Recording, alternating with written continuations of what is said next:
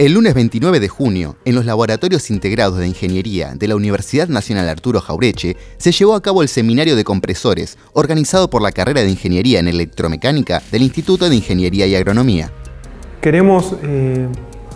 introducir a muchos estudiantes, a gente de la comunidad técnica de la zona en el tema de los compresores porque sabemos de la importancia de generar bien aire comprimido, de tener eh, buenos sistemas de eh, tratamiento de aire comprimido y más allá de la teoría, algunos saberes que tienen que ver con la práctica de eh, una instalación, una buena instalación de aire comprimido, un buen tratamiento del aire comprimido que es estrictamente útil dentro de la industria. Con las exposiciones de Federico Palavecino, de Atlas Copco, y Cristian Pisitelo, de Tecnología Integral Sociedad Anónima, el seminario se centró en el desarrollo de los distintos tipos y usos de compresores en la industria.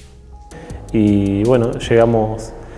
a un acuerdo para dar la, charla acá. La, idea es poder acercar los conocimientos de compresores a la, facultad, que es un tema que por ahí no, no forma parte de, de una cátedra completa, sino que se ve en alguna cátedra en particular y es interesante conocerlo, acercar la industria a la facultad que a veces es, es complicado.